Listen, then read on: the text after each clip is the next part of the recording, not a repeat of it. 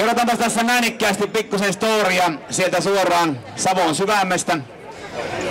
Varkkaaven seulta. Hyvä ystävämme jo edesmennyt kahtelolta pilvenpiältä. Esa Pakarinen, Riäkkylä Rustokorva, Karjalan poikki, yhtäkkiä keksi, että ei juuttaan näköinen hän siellä haluakka olla. Ja, mutta suijatti sitten tuonne Savoon ja opetteli suverenisti Savon kielen silloin 40-luvun loppupuolella. Ja ehkä niitä yksi parhaita tuotoksia, mitä sieltä Esalta löytyy, niin on tämmöisen suhteellisen märähkön kesän kunniaksi. Kylmässä maailmassa.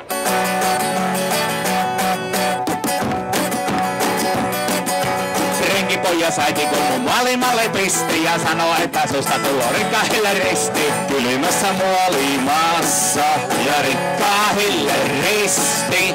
Hittaksin nuo hakuvat ja laskannan opittaa, vaikka renkipoka tekis kerrassansa mitään. Kylmässä maailmassa ja kerrassansa mitään. No hittolainen